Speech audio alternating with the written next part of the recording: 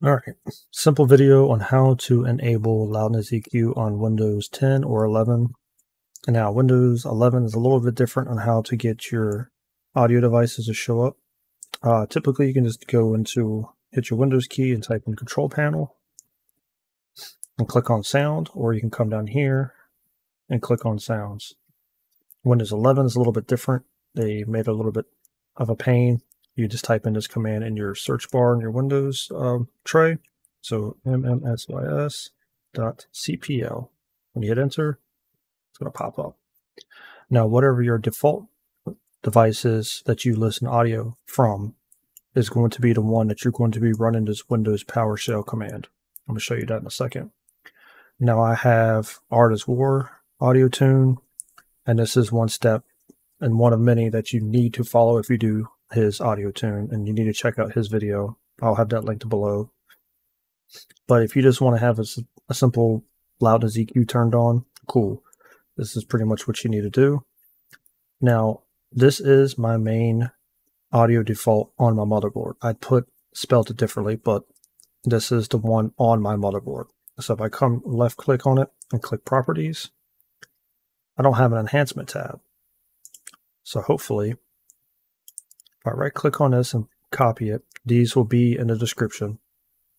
But if I go into hit my Windows, type in Windows PowerShell, which mine's already coming up, right click on it and run it as an admin.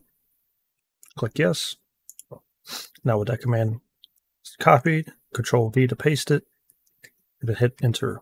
Once this prompt comes up, you want to do yes for all. And now you need to make sure just to make sure I'm doing it correctly, you want to spell out exactly whatever default is exactly the same as in here. If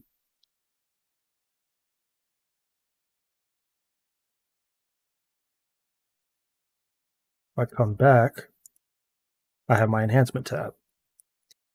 Loudness EQ is going to be unchecked. Normally it's unchecked, but you want to check this and highlight it and go to settings and by default is going to be set on this option here. Go to short. Click OK. Click apply. OK. Now loudness EQ is now enabled for that device.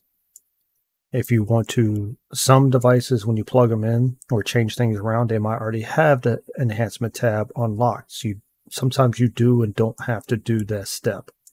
For an example, this is a little audio mixer that I picked up. It didn't have the enhancement tab, so I had to enable it.